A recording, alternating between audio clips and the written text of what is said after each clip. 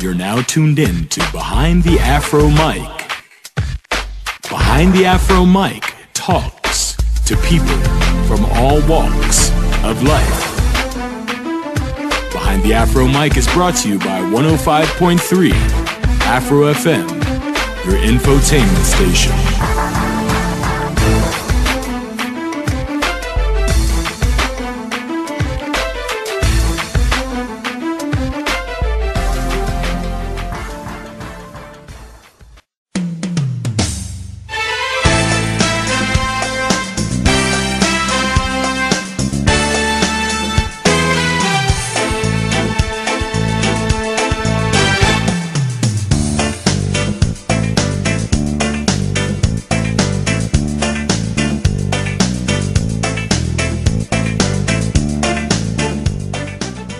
Kwame Nkrumah and Haile Selassie. This were the two leaders that dared to dare the dream, the dream of unifying Africa as a single nation. But years after they have passed away, the dream has not been yet realized. Nonetheless, the dream is still being pursued by many. Why is the dream eluding us? Is it a dream war is achieving? What can Africans benefit from integration in this harsh economic times? With these questions in my mind, I went to the United Nations Economic Commission for Africa for an answer. Joseph Atta-Mensah, who have championed the regional integration issue as a director for years, has weighed on the issue. Hoping that you'd enjoy the exciting discussion, I'm your host and producer, Samson Tasfai. Okay, Mr. Joseph Atta-Mensah, welcome to Behind the Afro Mic. Thank you very much, Samson. Thanks for having me. It's always been uh, a pleasure listening to the Afro uh, 105.fm. Um, I really enjoy the programs that you have, um, and I thank you for having me. Okay, thank you very much. I want to accept the compliment on behalf of my colleagues at Afro FM too. So now, as we are talking about right now on June the 3rd, there is a big conference going on with the theme of Towards a Continental Free Trade Area and Customs Union in Africa. What's the meeting all about for those of us who have not attended the meeting? Well, it's a great question. Um, it's a very important meeting in the sense that, um, as you know, um, regional integration um, is the raison d'etre for African Union.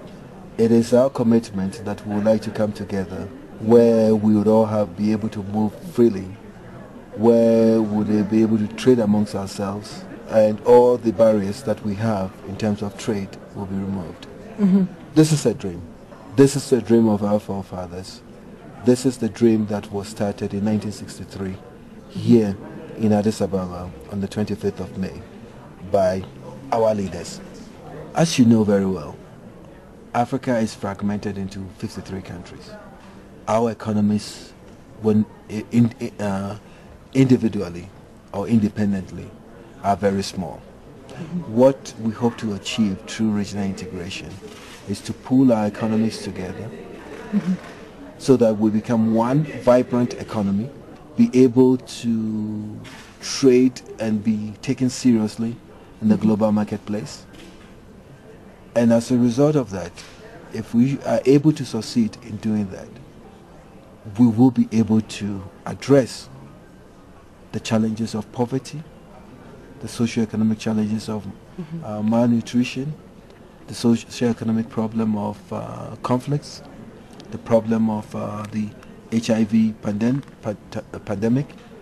So collectively, when we come together, we will be able to improve our lots. We'll be able to improve our socio-economic development. Imagine you have all these countries as one. You have all these economies pulling together as one. You have Ethiopia being able to specialize in coffee, right? And you can find Ethiopian coffee anywhere in Africa. Okay. This is the dream. This is the dream. You put it in a very compelling manner. You said this was the dream of our fathers. If this is a dream of our fathers, then why did it took so long for the integration to be realized? I think maybe I, I it's not, it's not a, yes integration is not something mm-hmm. which is easy okay mm-hmm.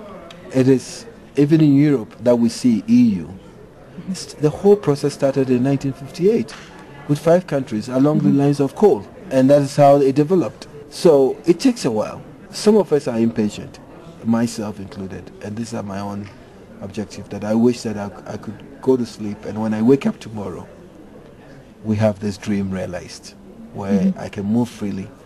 As a Ghanaian. If I choose to stay in Ethiopia forever, I would have no problem. Nobody asks me any question. I would have one common mm-hmm. African passport. Oh, or something, you have your own passport. Mm-hmm. One African passport. Your passport will not be different from my passport. And we can all, you can decide where you want to live. This mm-hmm. is what some of us want. But I think we also have to face realities that you're pulling sovereign states together. You have to do it in a way that it does not it does not cause confusion.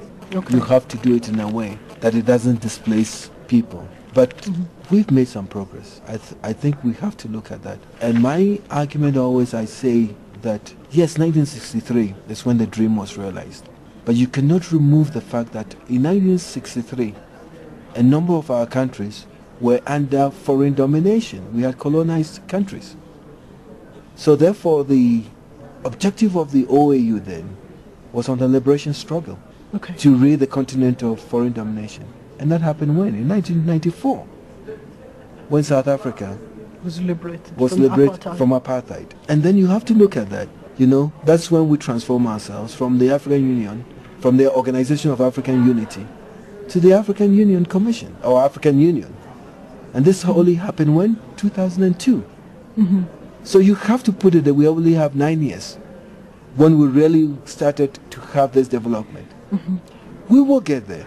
And I think people like you, the youth, can make it happen. There's tr- you have tremendous amount of power in your hands to mm-hmm. let it. Because when I talk to youth, they don't see themselves as Ethiopians or Ghanaians or Burkinabes or Zimbabweans. Mm-hmm. They all want to come under the one umbrella They, of I, s- Africa. I see them as Africans. They talk African language. They want to be African. okay, that is the ambition, and it's a great ambition. But I think realistically, in the near sense, the, the thing that we, can be achieved is economic unity, isn't it? I think so. I, I, I think that, uh, that you know, um, although, like I said earlier, if we can have political integration and have one Africa tomorrow, I'll be dancing on the streets. But on a practical note, you have sovereign countries. And uh, sovereignty is something which is not easy to part with. So I think we can do the easier one, easier, not easiest, but easier one compared to political, is that if we concentrate on the economic integration, whereby um, we can pool economies together. And let me ma- remind you though that in uh, in a, a few weeks, I mean in a few days, you are going to have the we're going to have the tripartite summit in uh, Pretoria, or sorry, in South Africa, maybe Okay. Pretoria or Joburg. What's that tripartite? I am coming to explain. Mm-hmm. And the tripartite summit, would, which involves the common market for Eastern and Southern Africa, which is mm-hmm. known as COMESA, the Southern Africa Development Community, which is known as SADC, the East African Community, which is known as EAC, have come together and have agreed that they are going to form a, an, an FTA to have a common free trade area, or what is known as the Grand FTA. And there are 26 countries involved, including Ethiopia. Mm-hmm. There are 26 countries involved, including Ethiopia. And what they seek to do, if it's realized, is to have that area, the 26 country, the 26 countries, the zone, the, among the three, goods would move freely Mm-hmm. within that community. okay. So if that can happen, if we can realize that, so mm-hmm. you have 26 countries coming together, 53 minus uh, 26 is what? 27. Yeah. So you are left with 27 countries. If they can also come together through another form of an arrangement, we are mm-hmm. getting there. So I am I am praying hard that this grand FTA succeed. But having said that, we can also have a grand continental FTA if the leadership really wants. And what we can do as ECA, and that's the reason for this conference, is that if we can, through our technical expertise, design a mm-hmm. framework in which we can have this continental FTA, it will be a great thing. And it's coming from not that we want to do it, but in Kigali last year, the African trade ministers asked that we fast track mm-hmm. the continental FTA. And so we have to work on that to get it done. Mm-hmm. We also are going to do this through a work we are doing, which we have a report, which we publish jointly with African Development Bank and the African Union Commission, which is called the Assessing Regional Integration in Africa. Mm-hmm. The last one we focused on intra-African trade. The fifth report, which we are going to be working on, would focus on designing or looking at a framework for a common market for Africa. And that would include looking at what will be the framework that should be used if we have uh, a continental FTA. What would be the framework that we could use if we want a continental customs union? What is the blueprint that we need to have if we have to have a common market for Africa? This is the, this is what the report is going to focus on.